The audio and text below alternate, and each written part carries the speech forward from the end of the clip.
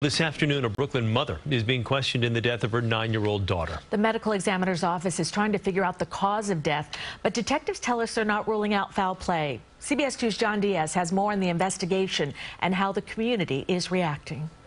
What was once the home of nine-year-old Shalom Guifarro now remains a crime scene, with police still investigating and this Crown Heights neighborhood still reeling. I think that's really terrible, and whoever do it should be, be, be accountable for what they did. When I found out about it, it was like, damn. Nah, it can't be. You know, it can be, but it's true.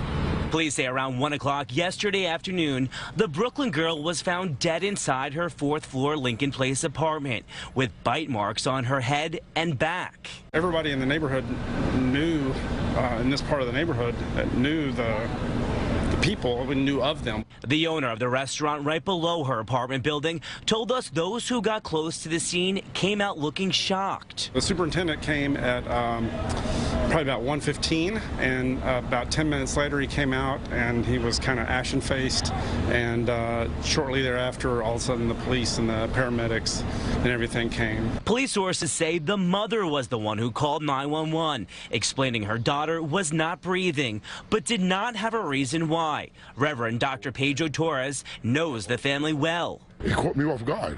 The daughter had the most beautiful spirit in the world. Cheerful, happy, always pleasant. His ministry fed the family on occasion and gave them toys for Christmas. When I gave her the doll for Christmas, she gave me one of the biggest hugs in the world. You know, and, and that resonated with me for a long time. Because the way she, she, she hugged me, I could feel she appreciated it. And please tell us that this nine-year-old girl's 13-year-old sibling was removed from the home as a precaution.